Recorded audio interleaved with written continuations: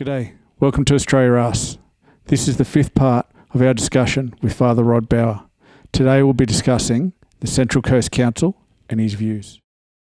Um, so, with the Central Coast, uh, where we are today, uh, not having a council and going through administrator, Yes. it's almost a reset, um, which allows us to start again.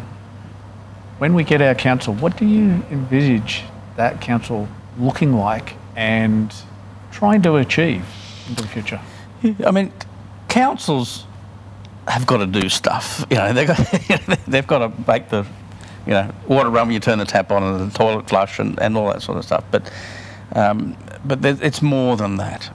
You know, the council, the, the local government has higher responsibilities than just making sure the garbage gets picked up. All of that. Uh, there's a social responsibility. Um, the, the Central Coast is, when I came to the Central Coast 25, six years ago, it was the most Anglo Celtic population in the country. Yeah, Um, now it's still pretty, pretty much it there, was when I went through school. but that is changing. And I, I believe that the Central Coast has the unique opportunity to become a more diverse society in an intentional way.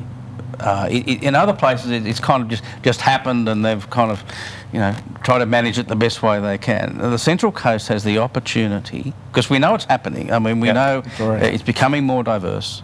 Um, people are moving up from Western Sydney um, to find, you know, um, more affo- slightly more affordable this. housing to find this. Um, so the the political leader, the local political leadership on the Central Coast has this unique opportunity to form pathways to create an intentionally diverse and flourishing community here on the Central Coast. It's a unique opportunity. Yeah. And I hope that they don't miss that chance.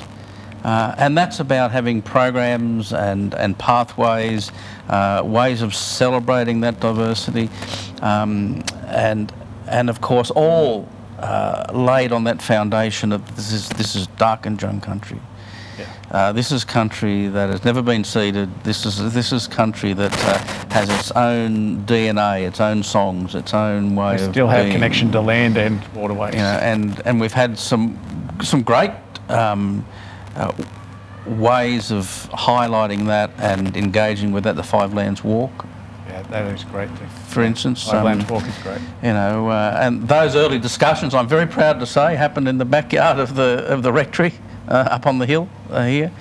Uh, it's become an extraordinary, um, uh, and uh, uh, and that to, to hang on to that, to celebrate that, um, and to create those pathways where diversity can then be engaged and celebrated. Uh, we have the the the natural beauty if we have the political will to create a society that in which everybody can flourish then what a great place the central coast is Thank you very much for listening today. Please hit like and subscribe. That was part five of our discussions with Father Rod Bower. Part six will be discussing Are We the Lucky Country?